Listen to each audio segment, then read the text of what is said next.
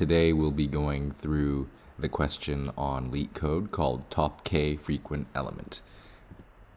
This is a medium level question and it goes as follows. Um, given an integer array, so this is our input, an array of numbers, and an integer k, in this example we have 2, return the k most frequent elements um, and we can return it in any order. So if we just look at this example right here, given our input of 1, 1, 1, 2, 2, 3, what are the top two most frequent appearing element, right? So look, just eyeballing it, 1 occurs three times, 2 occurs two times, and 3 occurs one time. So the top two most popular elements here would be 1 and 2. Um, and to think about it, you know, every time we need to look at an array and figure out which element occurs how many times, we have to think of a hash map. And in JavaScript, we can represent that using an object. So the element here, 1, occurs three times, element 2 occurs twice, the element 3 occurs once. This is our lookup table. We need to have this. Um, and for example, if we had um, another example where 4 occurs twice and we wanted to find the top three elements, well, 1 occurs three times, 2 occurs twice, 3 occurs once, 4 occurs twice. So the top three elements would be 1, 2, and 4 in that case, right? So we create our hash table again, just like we did earlier. Now, yeah, this is just to reiterate how many times did an element occur? Think of a hash map. Okay, so going into the example, this is the example that was listed earlier with our array and our k equals 2. We create our hash map, um, and there's one way where we could do it is where we could just sort this. So turn this hash map into an array again, and we sort it by the value, right? So 3, 2, 1, it's in a descending order. All we have to do is take the keys of the first two elements 1 and 2, and that would give us our solution. However, that is an n of log n method because we need to sort everything here. And there is a faster way, and that is using bucket sort. So just to help you visualize it, I've drawn a chart here, and the occurrence is what we're going to be using. So this is usually the index, right, of an array. So think of this as one array with our index that represents the occurrence the, the number of times that an element appears. And we're going to be mapping that to a list. And you'll see as we go along. So this is what it would look like. This is the structure that you're creating, an array of arrays. Now, for example, um, let's take a look here. 1 occurs three times. So we would put 1 in index 3 because we're mapping the indices to the occurrences, right? So the value 1 occurs three times, so we're going to push that here. Next, the value 2 occurs twice, so we're going to push that here in the index 2. And so on, the value 3 occurs only one time, so we're going to access that element, um, that position, and push 3 in there. Now, what if we had 4, right? If 4 only occurred once, then it would probably go in this bucket, the one time, right? And if 4 occurred three times, actually, what would happen is that this would actually not be here, but 4 would actually be in this bucket, 1 and 4. And instead of 1 and 2 being the solution, right? So say, for example, if our target was our top three elements, right? Then 1, 4, and 2 would be the top elements that have occurred because 1 has occurred three times, Let's ignore this 4. 1 occurs 3 times, 2 occurs twice, and 4 occurs... Oh, I'm sorry, let's not look at that. But 1 here occurs 3 times. Okay, so it's 1, 4, and 2. That would be the solution if k was 3, because we're looking for the top 3 occurring values. So um, let me know if that was clear or not in the comments. I will jump into the code right now. Um, actually, let me know if you guys prefer the code walkthrough with the code already here or um, as I live code it and explain it. So let's dive right in. um, remember we had to create our lookup table, right?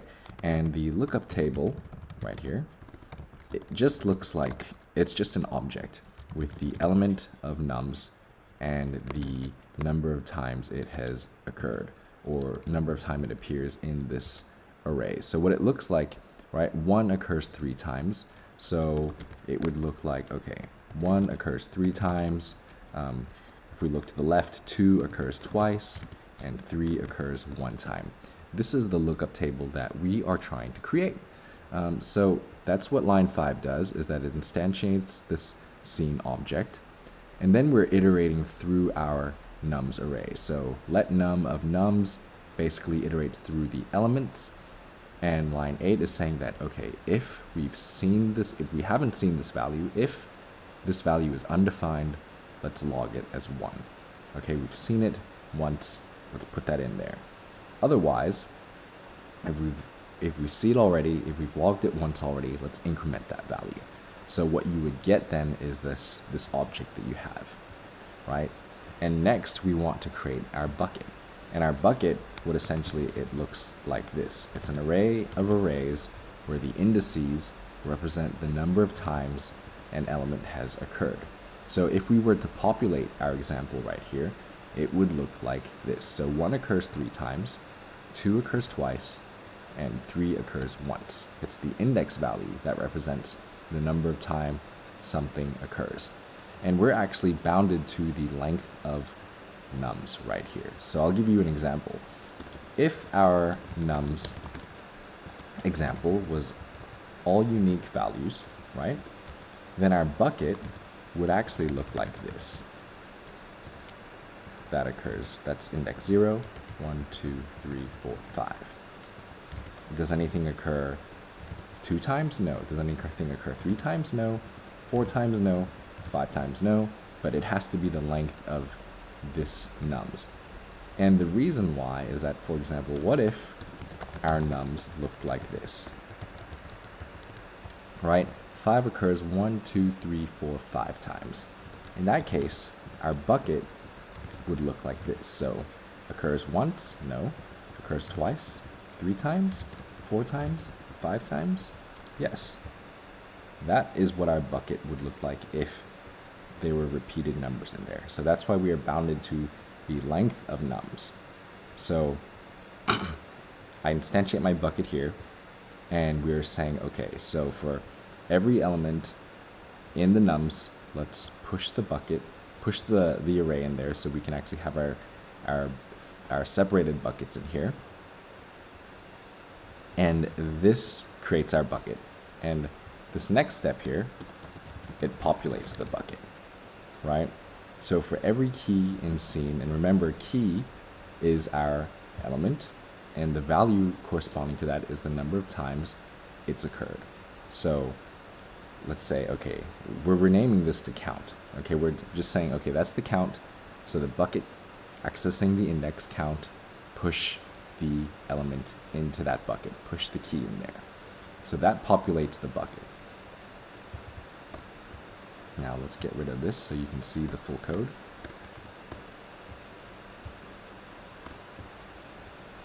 Finally, our results. So we are going to be iterating through the buckets from the very right end. So from the last element. And because that's actually the one that occurs the most. And we're saying, okay, well, if that bucket, if that, the occurrence, if it was, um, if it's an empty array, right, which means that value, in fact, didn't occur six times, then we would skip through this iteration, we just continue.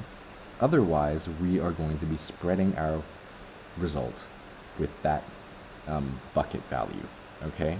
If we didn't do the spread, what you end up getting is another nested um,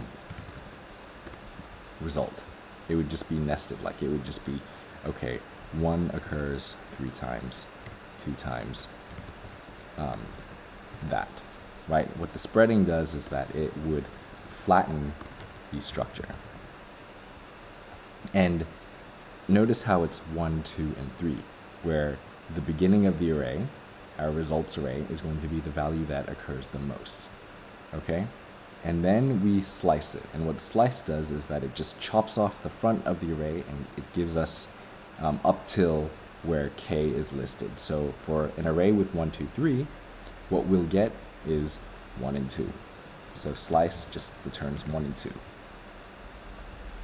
And that would be the um, end of the result, the solution. So let me pause right here so you can take a look at the code.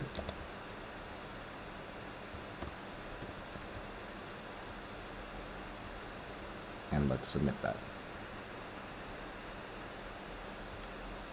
There we go, 70%. Not bad.